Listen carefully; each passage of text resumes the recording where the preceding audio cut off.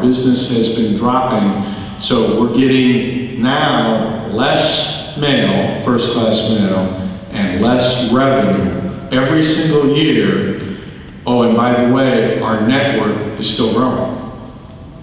Our network is still growing. So we still have to deliver every business and every residential household in the country every day. And so our infrastructure is still growing while our cash cow, our first class mail stream, is dropping in volume and revenue. So we have this plan, or we could raise our rates.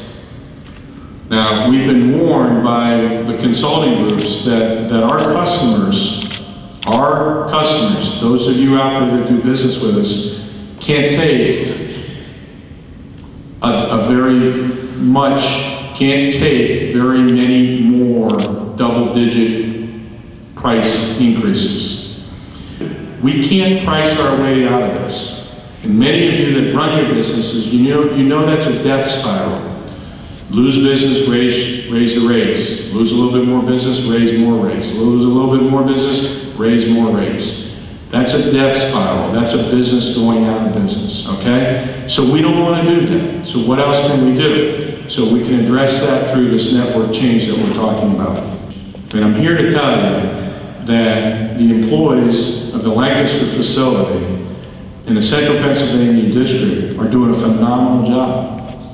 And those of you uh, that are out here, our customers, you know, we're doing this and we do a really, really good job nationwide in terms of our ranking as, as, a, as a service provider in the district. This is one of the top districts in the country. I mean, an elite district. We're in the top 10 regularly for service. So these issues are not about poor performance or not doing a job or the employees need to work harder. It's not about that at all. The employees are doing a fantastic job. Technology is forcing us to change.